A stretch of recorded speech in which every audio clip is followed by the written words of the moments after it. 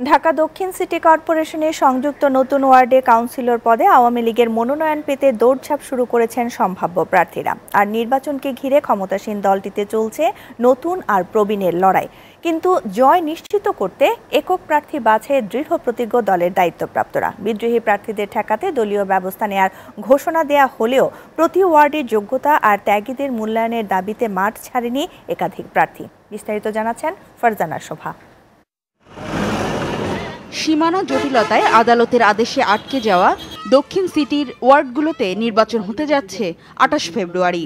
ঢাকা উত্তরের মেয়র পদের পাশাপাশি উত্তর ও দক্ষিণ দুই সিটির ছত্রিশটি সম্প্রসারিত ওয়ার্ডের সাধারণ এবং বারোটি সংরক্ষিত ওয়ার্ডের কাউন্সিলর পদে নির্বাচন হবে এদিন।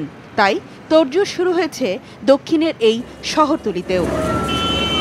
মূল শহরের অংশ হিসেবে তকমা পেলেও অনেক স্থানেই লাগেনি শহুরে উন্নয়নের ছোঁয়া। আটান্ন থেকে পঁচাত্তর নং ওয়ার্ডের এই এলাকাগুলোতে সড়ক মহাসড়ক তৈরি হলেও নেই ফুটপাত।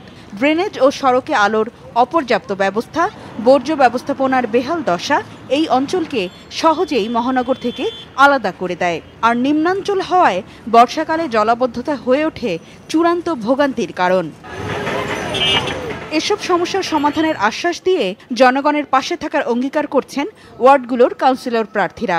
ক্ষমতাসীন দলের মনোনয়ন পেতে ভোটারদের পাশাপাশি দৌড়ঝাঁপ করছেন নেতাদের কাছেও। স্থায়ী বাসিন্দা, সমাজে গ্রহণযোগ্যতা, তারুণ্য, সামাজিক কর্মকাণ্ডে সম্পৃক্ততা, এই বিষয়গুলোকে তুলে ধরে ভোট যুদ্ধে জিততে চান তারা।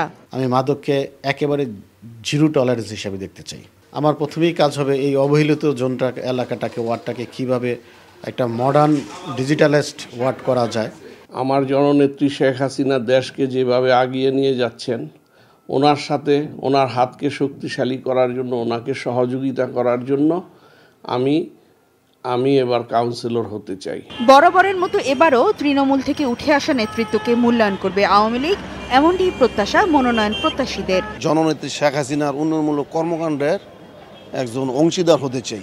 সংগঠনকে একত্রিত করে আমি সেই সোনার বাংলা গড়ার জন্য তাকে আমি আমার ছোট্ট পরিসরে আমি তাকে হেল্প করতে চাই।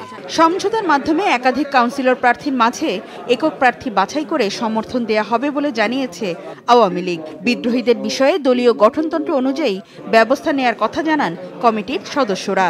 এই নির্বাচনগুলিতে আমরা শৃঙ্খলা রক্ষা করতে সক্ষম হব। এই মানুষের কাছে গ্রহণযোগ্য ব্যক্তিকে আমরা প্রাধান্য দেব দ্বিতীয়ত প্রাধান্য দেব দলের প্রতি তার কন্ট্রিবিউশন বিভিন্ন আন্দোলন সংগ্রামে যাদের ভূমিকা, নেতৃত্বের প্রতি আনুগত্য এবং জনপ্রিয়তা কাউন্সিলর হিসেবে মানুষের কাছে যাবে, তাদের একটা ক্লিন ইমেজেরও একটা বিষয়। যাতে কোনো ধরনের কোনো অনুপ্রবেশকারী ঢুকতে না পারে। যোগ্য সৎ ত্যাগী প্রার্থীদের সমর্থন দেয়া হবে বলেও জানান কমিটির নেতারা। ফারজানা শোভা, এসিটিভি, ঢাকা।